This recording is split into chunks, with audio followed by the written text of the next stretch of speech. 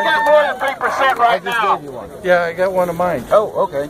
I usually carry it with me. Read it. You got one, read it. Excuse me, I do. Thank you. Every single Thank you. Then why, is what's going on in DC? First Amendment, right to assembly. Because he's the only congressman here. assemble your government for redress of grievances, which is exactly what you're doing. God bless you. I assembled peacefully until the We need the rest of the congressmen here. I was pushed down.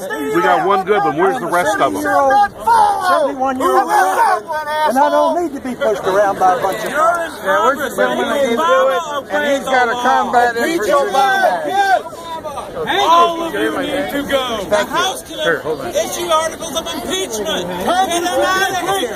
They haven't seen the news. And everybody can Michigan's there, I'll give you a smile, but nobody fucking fights it all the way. Hey. Yo, yo, yo. You call 100 politicians chained at the bottom of the ocean? Start enough! Have you seen Nancy today? Nancy? Nancy, Nancy. She wasn't here. Actually, uh, But she's not here. I avoid her as much as possible. Thank Let's say Congratulations. Thank you. Thank you for coming and thank you.